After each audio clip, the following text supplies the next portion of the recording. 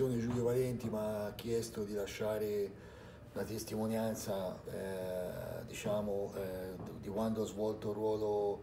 di Barbaresco e niente, inizio dicendo che sono orgoglioso di aver eh, ricoperto questo ruolo e di aver fatto parte, diciamo, una piccola parte nella storia paliesca della nostra contrada. In un altro motivo per cui mi, mi rende eh, orgoglioso è perché la nostra famiglia, la mia famiglia, è stata una famiglia in, per tre generazioni eh, di barbareschi. Io ho avuto il nonno che è stato barbaresco a cavallo degli anni 40 e 50 della Lupa, plurivittorioso. Mio babbo purtroppo non ha vinto, ma è stato barbaresco a metà degli anni 80 della Silva e io barbaresco a inizi anni 2000 con la fortuna di aver vinto, quindi questo mi riempie molto di orgoglio, tre generazioni, una famiglia di tre generazioni barbareschi, penso non è che a Siena ce ne sono tanti. Parto da dire il barbaresco è il ruolo secondo me più bello che ci sia nel palio. Io non ho, eh, ho fatto solo ruoli di stalla, ho fatto il vice barbaresco, ho fatto il barbaresco, non ho avuto altri ruoli, però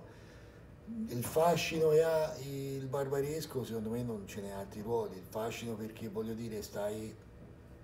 a contatto 96 ore col cavallo che rappresenta la tua contrada, che è l'attore principale poi del palio. Eh, il barbaresco è l'ultimo contraiolo, voglio dire, che sta dentro l'entrone col fantino e il cavallo, che dà una carica eh, emotiva anche al fantino prima di, di, di correre il palio. Quindi per me eh, mi, mi si accappona la pelle quando ripenso diciamo che sono stato barbaresco. Niente, diciamo che ora sembra tutto rose e fiori, ma tutto rose e fiori non c'è, ci sono dei momenti belli e momenti brutti. Io devo essere sincero, ho avuto forse più momenti belli che, che momenti brutti. Um, avendo sempre avuto cavalli comunque da corsa e vittoriosi, perché comunque o dopo o prima io nella, diciamo nel, negli anni che ho ricoperto questo ruolo ho avuto buoni cavalli quando ti hai buoni cavalli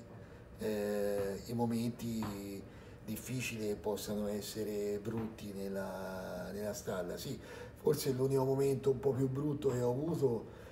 è stato con, ehm, quando ci è toccato Fedora Saura era il debutto nel 2006 di luglio.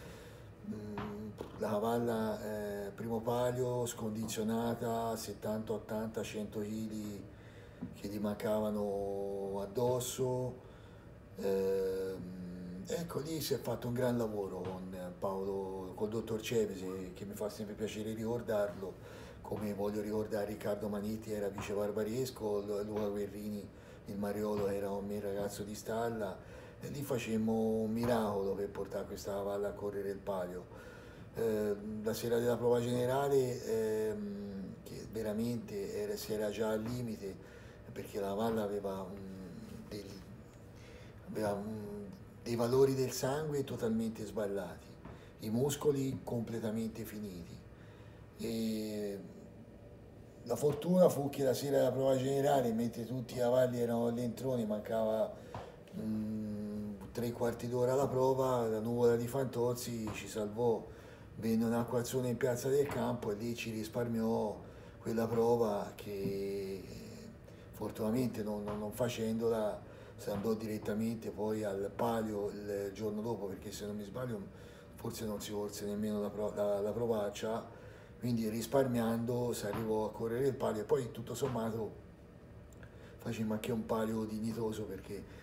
c'era terza addirittura al primo giro, poi la Valle sicuramente non avendo quella condizione per correre e per fare tre giri, piano piano cominciò a calare e si arrivò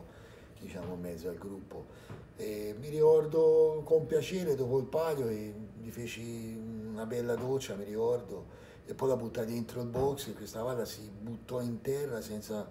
disinteressarsi del mangiare e tutto, si buttò in terra come dire, quasi che potesse morire, mi ricordo col capo si buttava il truciolo si cercava di ricoprirsi col truciolo e, e niente, eh, mi ricordo, mi fece un po' di, di tenerezza, però mh, mm, lo ricordo volentieri questo momento. Poi ebbe un po' di discussione con un carissimo amico, di discussione di vedute, discussione buone, di vedute eh, perché lui sosteneva che questa cavalla era una somara, io dicevo che secondo me sarebbe diventata una gran cavalla da palio perché quando cavalli so quel modo scondizionati e comunque di solito fanno una, una, brutta fine, invece lei ebbe la testa per affrontare comunque in quelle condizioni la corsa, finì, la, riuscì a finirla e disse secondo me questa quando il momento l'avessero portata in piazza in una condizione diversa poteva dire la sua, poi infatti voglio dire la storia ha parlato un po' per lei perché ha vinto tre pali, eh, di uno ce lo ricordiamo con molto piacere perché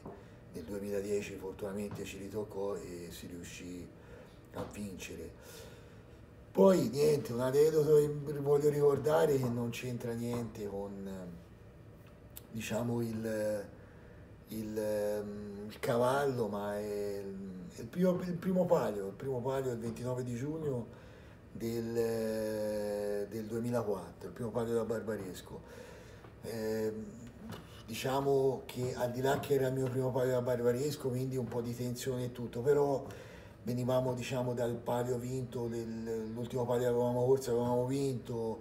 eh, in contrada non c'erano grosse pretese. Mh, mm, anche a livello economico non, voglio dire, non vogliamo pesare nei confronti della contrada, poi Alessandra fino allora non è che aveva dimostrato quant'è, mi ricordo quello insomma non è che aveva dimostrato di essere questa grande cavalla. Mi ricordo, mh, niente, siamo nel pomeriggio, mi chiama Roberto Marini, allora era capitano e mi dice, dice Boccia, guarda si va con Guido, dice stasera, dice prepara la roba per la sua misura, il giubbetto e i pantaloni, dice vediamo un po' come Guido reagisce stasera, dopodiché domani si prenderà una decisione se andrà con lui fino in fondo o no. Niente, si va dentro l'entrone, mi ricordo eh, mancava dieci minuti a correre la prova e mm, Roberto e Barabino e Sandro era l'altro mangino, erano già usciti, si erano già avviati nel palco e lì c'era rimasto Bruno che con l'immancabile sigaretta in bocca, eh, lo Zuno e, e, Stefano Bianchi era un po' più là. Io stavo girando la cavalla alla colonna, vedo Guido che in pantaloncini e canottiera, Guido che eh, si ricorda mm, come volentieri perché comunque ci arrivava una grande soddisfazione, perché mh, come grande fantino sicuramente è, si ricorda per, per per la sua carriera di grande fantino, ma non per un grande atleta. Niente, vedo Guido che con, ehm, si aggrappa la, con, diciamo, al gancio della, della colonna e con i piedi tenta di tirarsi su. Tenta di tirarsi su, lo fa più diciamo, nella parte laterale della colonna, però che succede? Scivola, eh, nello scivolare batte l'anca della colonna e, e va giù in terra. Io lo Guido lo, lo Zuno che aveva perso un po' anche diciamo, il, il, senso del riflesso, la sicurezza in bocca rimane fermo, il Bianchi che parte a corsa e gli fa Guido, oh Guido, ma che ha fatto? E, e Guido, mi ricordo, mi viene sempre da ridere quando ci penso perché con quella faccina innocente che c'ha Guido lo guarda e gli fa, Aste, stavo, mo stavo a fare un po' di stretching. Ma che stretching, che stretching? Ma che stai passare uno da stretching? Sta buono, via, mettiti osti, mettiti il giubbetto, tanto tra 5 minuti c'è la prova, stai tranquillo, non ti muove più e niente.